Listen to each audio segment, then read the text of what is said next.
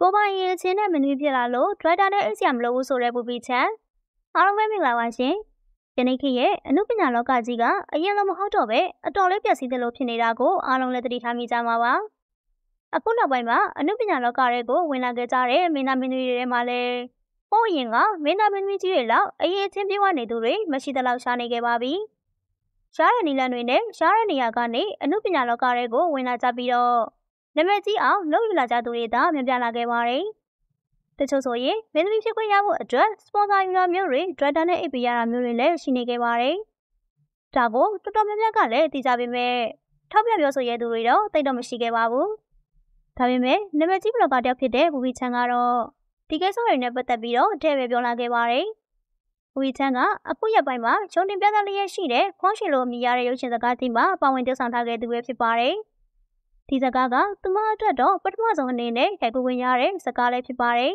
။ဘူဘီချန်ကအရင်ကတော့အသိပညာပေးဘလော့လေးတွေကိုရိုက်ကူးနေဆက်လေးရှိသူတယောက်ပါ။ဘူဘီချန်ရဲ့ဘလော့တွေကအတော်လေးအကျိုးရှိနေတာကြောင့်ကြည့်ရှုအားပေးသူတွေများလာခဲ့ရင်နာမည်ကြီးလာခဲ့တာပဲဖြစ်ပါတယ်။ဘူဘီချန်ကအထူးသဖြင့်လိမ်မိုင်းဆိုင်ရာအသိပညာပုဂ္ဂိုလ်သူသားတွေကိုမျှဝေလေးရှိတာကြောင့်လူသိများပါတယ်။အခုလက်ရှိမှာတော့ဖုန်းရှင်လိုအမိရတဲ့ရုပ်ရှင်စကားကြီးမှာပါဝင်ပြောဆောင်ပြီးပို့ပြီးတော့နာမည်ကြီးလာခဲ့ပါတယ်။ ထုံးစံအတိုင်းဝေဖန်သူချီးကျူးသူတွေဆိုတာကလည်းနေရာတိုင်းမှာရှိနေကြတာကြောင့်ဘူဘီချန်ကိုဝေဖန်တိုက်ခိုက်ကြသူတွေလည်းညပြလာခဲ့ပါတယ်။ဘူဘီချန်ကအနုပညာလောကကြီးပျက်စီးနေချိန်မှာခွေးတို့ဘက်ကနေဝင်လာသူဆိုပြီးတော့ပြောဆိုနေခဲ့ကြပါတယ်။ဒါကြောင့်ဘူဘီချန်ကတော်ရုံလူပြောရတဲ့အရာတွေကိုထုတ်ပြောလာရင်နှိုင်းရှင်ပြလာခဲ့ပါတယ်။သူမအနေနဲ့ခွေးတို့ဘက်ကနေဝင်လာသလိုဖြစ်သွားနိုင်ပေမဲ့ဂရင်ဘော်ကနေဝင်လာတာမဟုတ်ဘူးလို့တဲပဲပြောလာခဲ့ပါတယ်။ အနုပညာလောကထဲမှာဒရိုက်တာတွေပရိုဂျူဆာတွေနဲ့အိမ်မှာရုပ်ရှင်ရိုက်ခွင့်ရပြီးမင်းသမီးဖြစ်ခွင့်ရတယ်ဆိုတာမျိုးတွေကအရင်ကတည်းကရှိနေခဲ့ပါတယ်။အခုအချိန်ထိလည်းအဲ့လိုမျိုးသူများတကာနဲ့လိုက်ပြီးမှမင်းသမီးဖြစ်လာကြသူတွေကအများအပြားပါပဲ။ဒီလိုမျိုးရရနေလန်းနဲ့ကရင်မော်တက်ပြီးမင်းသမီးဖြစ်လာအောင်ဘူဘီချန်ကမလုပ်ခဲ့ဘူးလို့ဆိုပါတယ်။သူမရဲ့အောင်မြင်မိသားအခြေအနေနဲ့အရေးချင်းတွေကြောင့်သာအခုအချိန်မှာရုပ်ရှင်ရိုက်ကူးခွင့်ရခဲ့တာပဲဖြစ်ပါတယ်။ ကိုပိုင်ရဲ့ချင်းရှိပြီးသားဖြစ်တာကြောင့်ဒရိုက်တာနဲ့အိပ်ပြီးမှမင်းသမီးဖြစ်လာတာမဟုတ်ဘူးလို့ဆိုပါရယ်။သူမကိုခင်မကောင်းတဲ့အချိန်မှာခွေးတို့ဘက်ကဝင်လာတယ်လို့ပါတော့ပြောနေကြပေမဲ့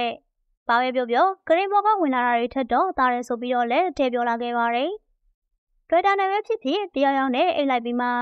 ရရှိရခွင့်ရတာဟုံဖို့ဆိုတာကိုကိုကိုလက်ပြတော်နဲ့ဆိုပြီးတော့လည်းပြောလာခဲ့ပါသေးတယ်။သူမကိုအလကားနေရင်လိုက်ပလင်းပြီးတော့အကျိုးမရှိပဲပြောဆိုနေကြတာတွေက